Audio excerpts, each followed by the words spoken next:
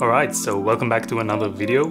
This short film that we're talking about today is probably the video I'm most proud of out of everything I've ever created. We shot this a year ago and it's finally out, so I'm really excited. So I'm gonna play it now and then we'll dive into the breakdown and the behind the scenes.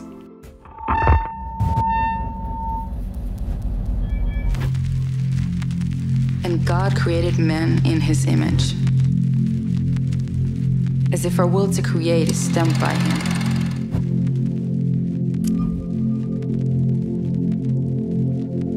Wondered why we're here? From the moment of creation to now, this world has been moved by those willing to dream, those who hold a vision. Skateboarding is a form of freedom, freedom, freedom. Skating with friends and smile every day. I am who I am, and this is what I'm feeling at the moment. We all have our different ways of creation. From moving waves in space and letters in our mind to the creation of moments.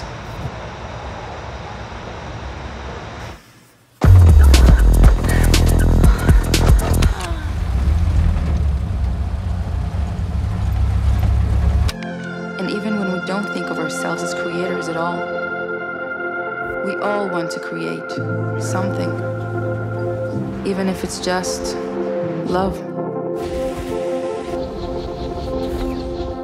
As time moves on, from the dawn of humanity to the Industrial Revolution to now, in the end, we're all here to create.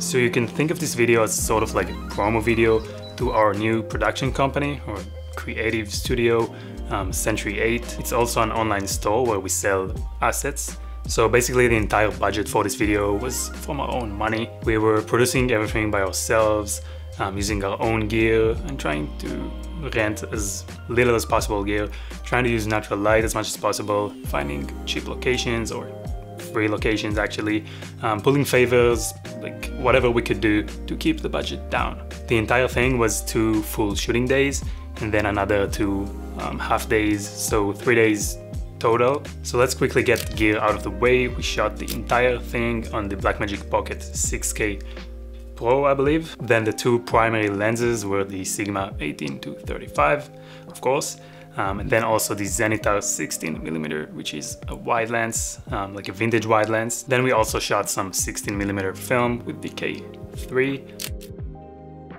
So let's start off with the first scene, which is my personal favorite. It's all shot in my apartment, uh, which is the space I'm shooting in right now. Um, we have a beautiful living room um, with a lot of light coming in from the windows, which was great, mostly because it's just beautiful, but then also um, we didn't have a big budget to rent big lights or anything. So um, using the already available beautiful lighting was a good choice. So you can see if we look at the wide shot, we have all of this light coming in from the outside and we had to be there at a very specific time of day to be able to capture this kind of light. Because I live there, then obviously I know when the best time to be there is. So if we would have shot this a few hours earlier, sun would have been in a completely different position um, and everything, like it just wouldn't have worked. It would have looked just flat. So being in location at the right time of day uh, is crucial. So we have all of this light pouring in and we have a haze machine to really accentuate that and kind of diffuse the light and give it a lot of texture and ambience and also create some beautiful sunbeams. So pretty much whenever you have beautiful light flooding in like this, just turn on the haze machine for a bit and uh, magic is gonna happen. Also in all of these shots, the light is coming from the back, so it's backlit, and which usually is the most cinematic because you have the shadow side facing the camera. I really liked the light in this shot, especially. We have this almost perfect triangle of light and it's shaping her face beautifully. It's also lighting up her eyes. And because we're on the shadow side, we're getting like so much depth, so much definition on the face here. Um, if this would have been front lit, it would have been very, very flat. We shot most of it handheld, a lot of it with the Zenitar, the wide lens, some of it with the Sigma, Um, and then we also had one shot that was uh, with Dana Dolly, and we also shot some film, which I think turned out the most beautiful out of all of these shots. So we have this vintage BMW parked in the parking lot. Um, we have all of the lights of the parking lot, the fluorescent lights. Uh, we couldn't really control that. And then inside the car, we placed Nanlite tubes and we put that on a red color. And then we also hazed up the entire um, thing, like the interior of the car. And that created this beautiful uh, red glow that also contrasted really well with the fluorescent lights that were a bit on the cooler side of things. So for the main shot here, we have a push in with the Dana Dolly and the rest of the shots were handheld uh, with the Easyrig. One thing I wish we did that we didn't really think of when shooting this was doing a wet down. And a wet down is basically when you just wet down the floor. I would have created a lot more um, depth to the image, would have created reflections and you know beautiful um, light bouncing around and just overall like more interest. So looking back at this, it's a bit of a shame that we didn't do it, but we're gonna know better for next time. So moving on to day number two, we only had this one location. I think we were there for around two or three hours maybe. Um, so that was a shorter day. We shot in this beautiful open lake. Um, sun was um, high up, but we had some clouds going on, so everything was pretty flat. We have our lovely model Noah painting, and we shot most of it um, with the 18 to 35 handheld. Um, also, we I think, yeah, we did have a few wide shots with the Zenitar, which I really liked. And we also shot a bunch of these shots on film, which turned out really beautiful. That's pretty much it, not much to say about this scene. Day three, we shot on a rooftop with another vintage car. And this time, unfortunately, we A, couldn't location scout the place, then also B, um, we're not able to be there at the time that we wanted. So we basically had to front lit everything, which was really unfortunate um, because we wanted the background that was there because the other side was looking really bad.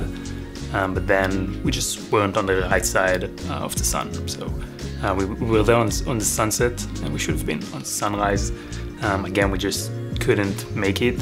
So we did have a nice background, but everything was front lit, uh, which was a bit of a shame because when you front light things, they tend to look flat and it's hard to create depth. Um, but a lot of these shots didn't make it to the edit anyways, so um, not a big loss, um, but that was a bit, uh, yeah, should have been there at the right time of day. There is this one shot um, from inside the car driving and this one we were able to get right um, so you can see the sun is just coming in from like behind her. We're shooting into the shadow. We're getting all of this depth. Um, all of this side of her face is in shadow but then we have this really beautiful rim light or like edge light um, going on and then also the beautiful lens flare. Um, so I, I really, really like this shot. So after the rooftop, we went to the skate park. We had maybe like half an hour of the sun um, sitting just at the right place. And we also had a pretty nice sunset. And then after that, sun went down. Um, then we shot a little bit into the blue hour um, also mixing some red lights from the uh, Nanlite tubes, which contrasted really nice with the blue skies. What we didn't know was that sunset is apparently everyone's favorite time to go to the skate park. So we had a bunch of annoying kids um, driving around and getting intro shots, so that was a bit of a challenge. We have these two portrait style shots just pushing in really fast with the wide lens. Um, I really liked that because it gave the, the footage um, this whole scene a lot of energy, which it needed because, you know, skating and it's all energetic, fast, um, action-packed. So I thought these shots really matched well with the overall scene. Moving on to day four, this was actually a few weeks later on. The model is a really good friend of mine and the apartment belongs to one of her friends also. So again, managed to get a free location and a free model. Once again, the time of day and sun position were crucial for this scene and we made sure we were there on the right time, which was sunset. Same as the first scene on the first day, um, sun was shining in, pouring in from the windows. We had a little bit of haze going on. Again, trying to stay mostly on the um, shadow side. Um, there's this close-up, which I really like. Um, you can see all of the atmosphere that the haze is creating in the background there. And then we also have some shots um, on film. And then these shots um, are very contrasty. We have a strong sidelight going on, splitting the face in the middle. We have a very defined, very strong shadow side. And then the other half of the face is lit from the windows. Um, that creates a very dramatic effect. It's not the most flattering light. Usually you'd want the light to wrap around, right? That's what we mostly try to do.